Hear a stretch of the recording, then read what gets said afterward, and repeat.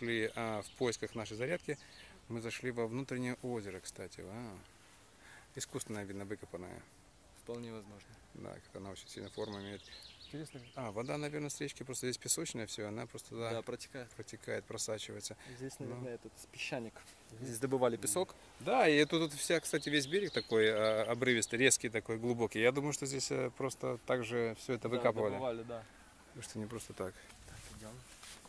И ну, ну и что по- там дальше? по- это- тогда? Потом дальше надо было ложиться и выбрасывать вверх таз. Ну, то есть постоянно. Ага, поднимать его. И Это думали, все что лежа, э, кулаки под пятками Это в начале. на, А, на спине. Не, а тут уже мы кулаки убрали, просто лежим и как бы просто выбрасываем таз вверх. В том же положении, только таз вверх выбрасываем. И мы тоже думали, что минут 15, но в итоге мы делали это еще дольше, там час с чем-то. И в конце идет уже фаза расслабления, когда мы расслабились, разводили ноги, сводили их очень медленно, плавно.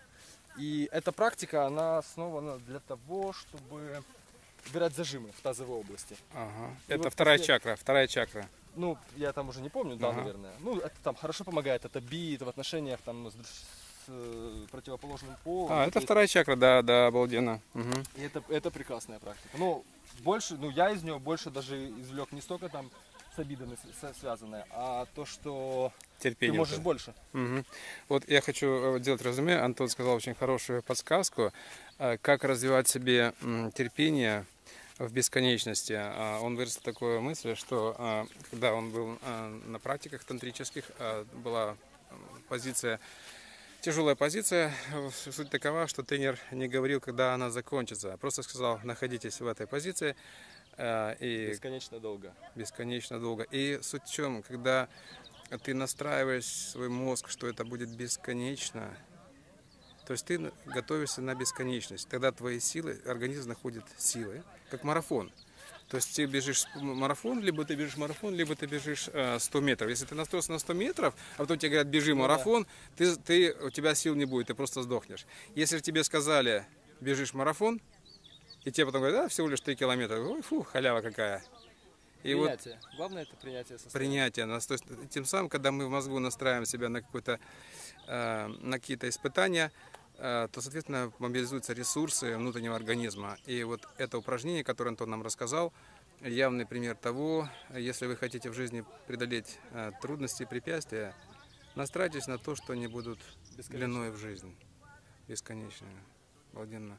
Спасибо, Антон, огромное за подсказку. А мы приближаемся. Благодарю, спасибо большое. А мы приближаемся к нашей а, зарядочной площадке, оказывается. Вот здесь-то у нас идет зарядка. Эй, мы так долго ее искали, а тут у нас идет зарядка. Мы заряжаемся внутренней энергией. Доброе утро, страна! Эй! Замечательно. Это практика, кстати, на доверие. На доверие, когда ты позволяешь упасть человеку, да, ты допускаешь, что а, ты веришь ему. Не так просто это сделать, поскольку нужно научиться доверять.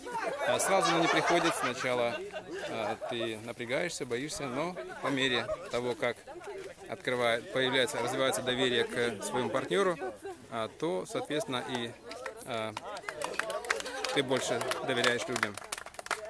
Мы продолжим позже. Присоединитесь сейчас к этой практике также.